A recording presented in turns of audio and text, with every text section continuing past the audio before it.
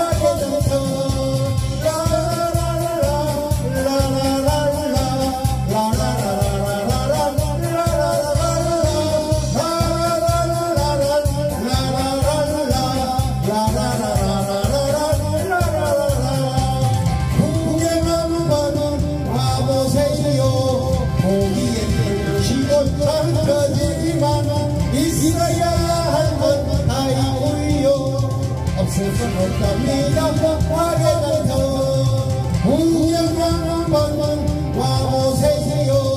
오시면 모두 모두 이웃 사촌 공장점점 주고받는 현상도 전파도